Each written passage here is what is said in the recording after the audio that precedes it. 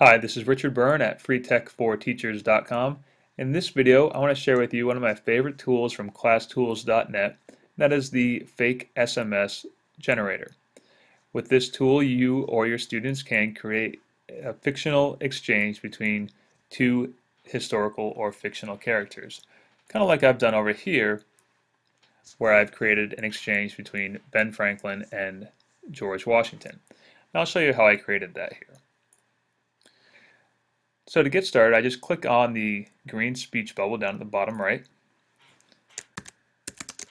and put in my text.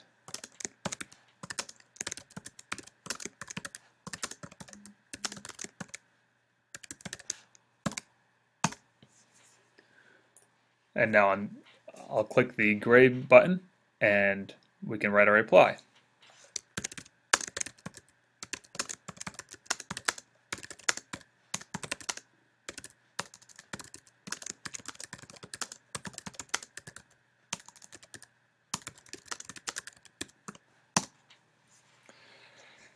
So I've set up my little exchange. I can continue to go on as long as I like.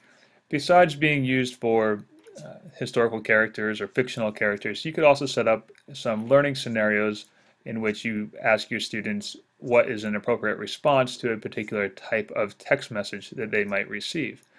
Um, let's go ahead and save this work as it is right now.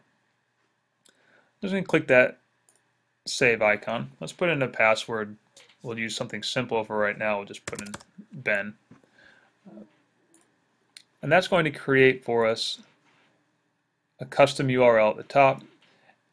Anytime you visit that URL, you can go back in and edit that work by putting in your password. If I want to change one of the exchanges here, I can go in, hover over the message,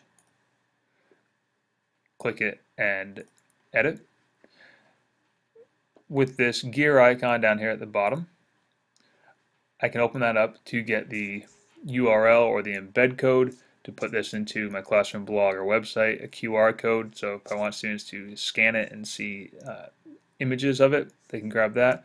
Or I can download the web shortcut to put it directly on my desktop.